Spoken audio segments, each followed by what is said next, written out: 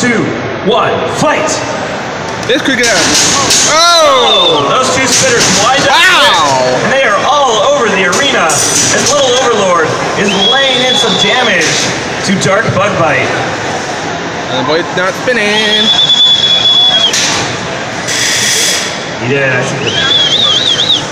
Oh, his Dark Bugbite seems to have lost his weapon. tapped out, He is tap tapping out. out. And our winner is the Little